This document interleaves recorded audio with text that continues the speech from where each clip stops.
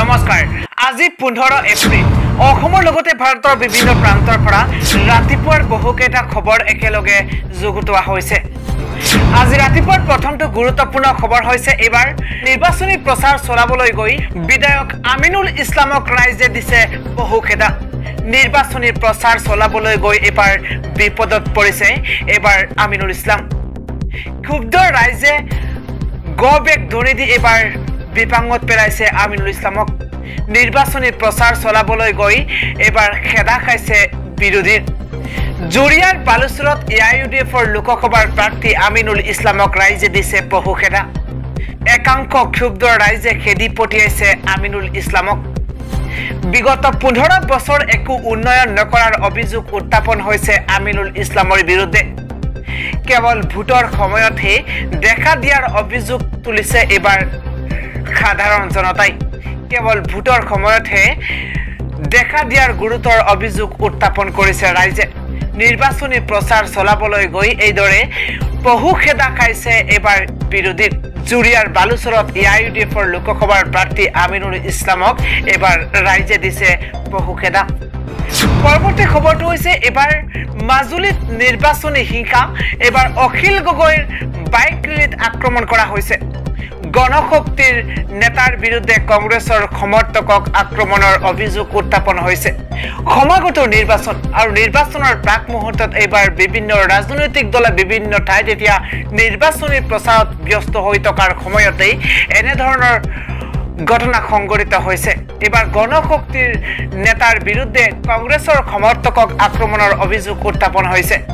মাজুলীৰ লুইত খাবলুৰ ষোল্ল মাইলত সংঘটিত হৈছে এই ঘটনা।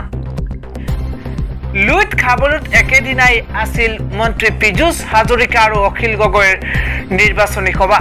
আৰু এই সভাখনৰ যাওঁতেই এইদৰে মাজুলীত নিৰ্বাচনী হিংসা দেখিবলৈ পোৱা গৈছে। অখিল গগৈৰ বাইক ৰেলীত এইবাৰ আক্ৰমণ চলোৱা হৈছে।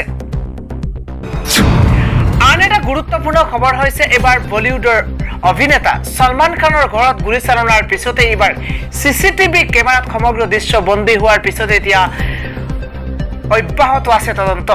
ঘৰত গুলীচালনাৰ আঁৰত কোন সেয়া ইতিমধ্যে পোহৰলৈ আহিছে। অভিনেতা ছলমান খানৰ ঘৰত গুলীচালনা কৰাৰ আঁৰত কোন আছে? আৰক্ষীয়ে চিনাক্ত কৰি উলিয়াইছে ইতিমধ্যে গুলীচালনা কৰা দুৰ্বৃত্তক। চি চি টিভি কেমেৰাত বন্দী হৈছে গুলীচালনা কৰাৰ দুৰ্বৃত্ত দুটাক। বাইকত আহি দুৰ্বৃত্তই গুলীচালনা কৰিছিল ছলমান খানৰ ঘৰৰ সন্মুখত। অভিনেতাজনৰ ঘৰত তিনি জাইকৈ গুলীচালনা কৰিছিল দুৰ্বৃত্তই। পুৱা প্ৰায় পাঁচ বজাত গুলীচালনা কৰিছিল ছলমান খানৰ ঘৰৰ সন্মুখতেই। আৰু তাৰ পিছতেই সমগ্ৰ ঘটনা চি চি টিভি কেমেৰাত বন্দী হৈছে।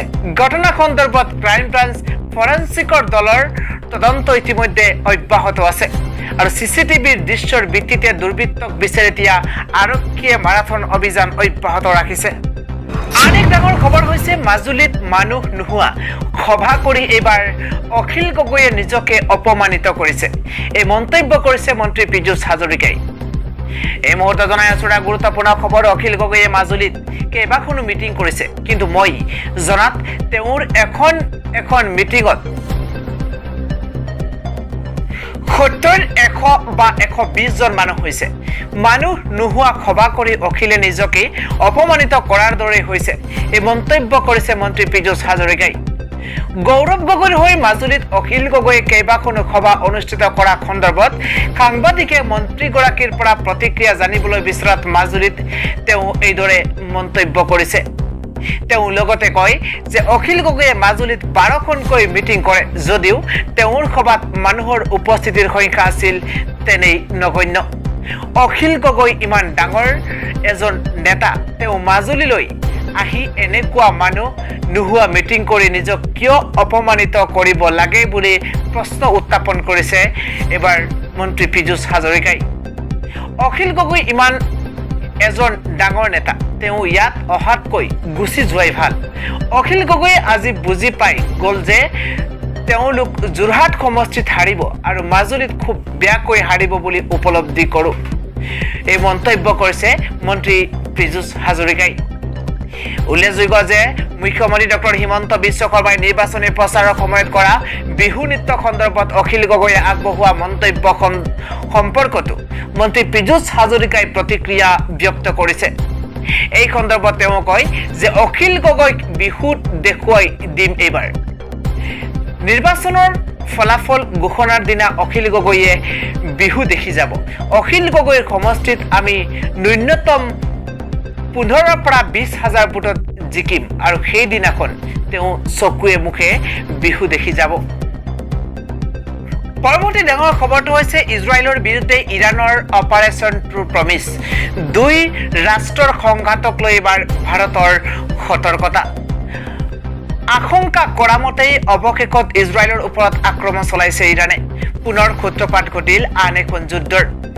পুনৰ নিৰীহৰ তেজেৰে ৰক্তাক্ত হোৱাৰ দিশে মধ্যপ্ৰাচ্য। শনিবাৰে ভাৰতীয় সময় অনুসৰি শেষ নিশা ইজৰাইলৰ ওপৰত তিনিশৰো অধিক মিছাইল আৰু ড্ৰোন আক্ৰমণ কৰিছে ইৰাণে ইজৰাইলৰ বিৰুদ্ধে অপাৰেশ্যন ট্ৰু প্ৰমিছ আৰম্ভ কৰিছে ইৰাণী সেনাই। এক এপ্ৰিলত ছিৰিয়াৰ ইৰাণী দূতাবাসত ইজৰাইলে চলোৱা আক্ৰমণৰ প্ৰতিশোধকল্পেই আক্ৰমণ ইৰাণৰ শনিবাৰে নিশা ইৰাণৰ আক্ৰমণৰ লগে লগেই ইজৰাইলত থৰকাচুটি হেৰুৱাইছে সাধাৰণ জনতাই।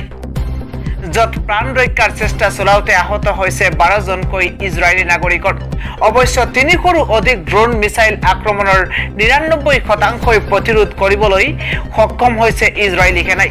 কালি সংঘটিত আক্ৰমণত বহুসংখ্যক ড্ৰোন আৰু মিছাইল ধ্বংস কৰিছিল আমেৰিকাই।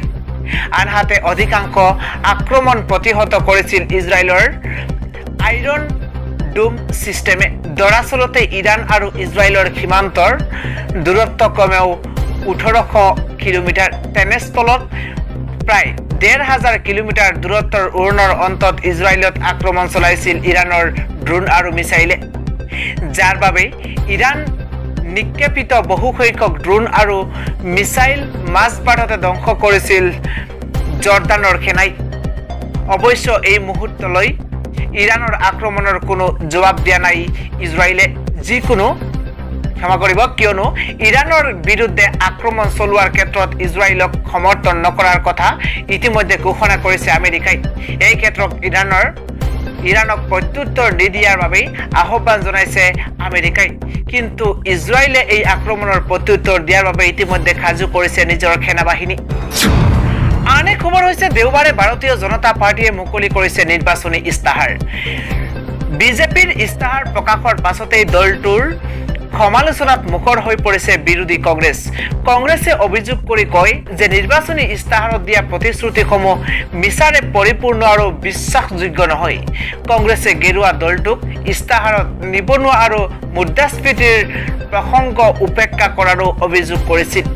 বিজেপিৰ ইস্তাহাৰত দৰিদ্ৰ যুৱ কৃষক আৰু মহিলাসকলৰ ওপৰত বিশেষ গুৰুত্ব দিয়া হৈছে। প্ৰধানমন্ত্ৰী নৰেন্দ্ৰ মোদীয়ে নিৰ্বাচনী ইস্তাহাৰখন মুকলি কৰি কয় যে তেওঁ তেওঁৰ চৰকাৰে ইউনিফৰ্ম চিভিল কোড কাৰ্যকৰী কৰাৰ আৰু একেলগে নিৰ্বাচন অনুষ্ঠিত কৰাৰ প্ৰতিশ্ৰুতি দিছে। ইয়াৰ প্ৰত্যুত্তৰত কংগ্ৰেছ নেতা ৰাহুল গান্ধীয়ে কয় যে বিজেপিৰ ইস্তাহাৰত মুদ্ৰাস্ফীতি আৰু নিবনুৱা অনুপস্থিত। বিজেপিয়ে আনকি মানুহৰ জীৱন সম্পৰ্কীয় আটাইতকৈ গুৰুত্বপূৰ্ণ বিষয়বোৰ আলোচনা কৰিবলৈ নিবিচাৰে। ইণ্ডিয়া মিত্ৰজোঁটৰ পৰিকল্পনা অতি স্পষ্ট। ত্ৰিছ লাখ পদৰ বাবে নিযুক্তি আৰু প্ৰতিজন শিক্ষিত যুৱক যুৱতীক এক লাখ টকাৰ স্থায়ী চাকৰি। লগতে কয় এইবাৰ যুৱক যুৱতীসকল প্ৰধানমন্ত্ৰী নৰেন্দ্ৰ মোদীৰ ফাণ্ডত পৰিব নোৱাৰে। আমি এতিয়া কংগ্ৰেছৰ হাত শক্তিশালী কৰিম আৰু দেশত নিযুক্তি বিকল্প আনিম।